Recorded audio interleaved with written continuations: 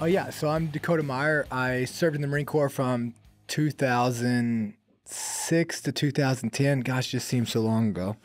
And then um, I was a sniper, operated in Iraq and Afghanistan. So Operation Iraqi Freedom, Operation Enduring Freedom.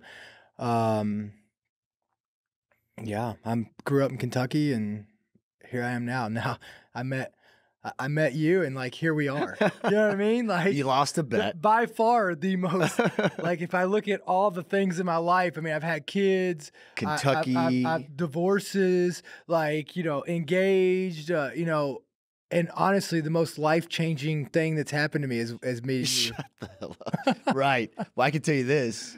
In Mine, the room with pre- drank beer with the president, but the- again, the most life changing thing Yeah. I've had happen to me is you. so now I'm one degree of separation from who gave you your Medal of Honor? Was that Obama? It was President Obama. Okay, but which which president could throw him back better, Trump or Obama? You know, I mean, the only one that would that, that drank with me. So Trump doesn't drink. Did you ever Uh, drink with Clinton? Uh, no. So he doesn't drink either. Like, um, I'm listening. and neither does President Bush.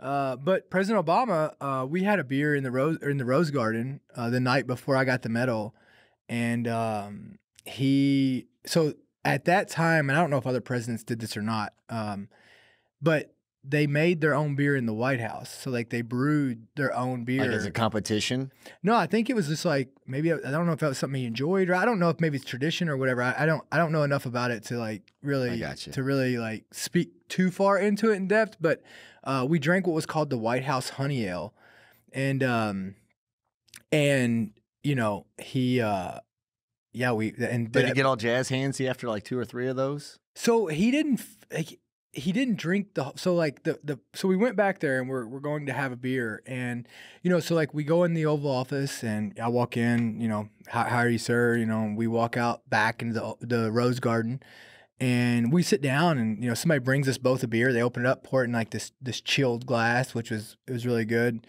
and uh, it was a light beer and so we're drinking. I I killed mine you know Sure, you did. and and he's like got 50% left and he looks at me you know we're just having like a casual conversation and he looks at me and he goes uh um he goes hey like dakota is it gonna is it gonna like offend you if i don't finish my beer? And you said yes.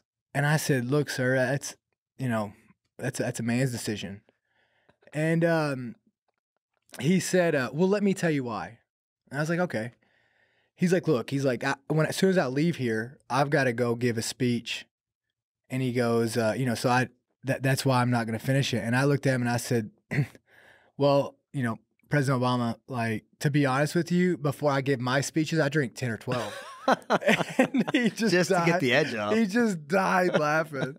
he just died laughing. But Was he cool? yeah, you know, like look, they're they're to be honest with you, like they're all cool, right? Like like behind the scenes, like they're they're all cool, right? Like nice guys.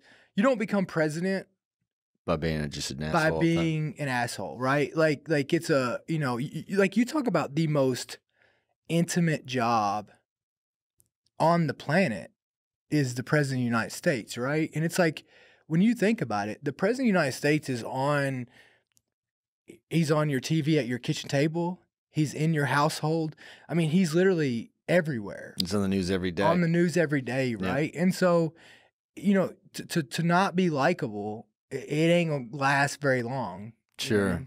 but I'm sure there's a lot of people within orbit of them that you have to deal with too that are probably less enjoyable to be around, like their staff. You know, I'm Yeah. sure staff has to run with a sharp sword. But I mean, they they do right. Like they have to run with a sharp sharp sharp sword. I mean, everybody's coming at them, right? And you talk about in that position, like, I mean, you know what it's like in your position of how hard it is to to decide, like, are people hanging out with you Good because of what you can give them, or Yeah. like, you know what I mean?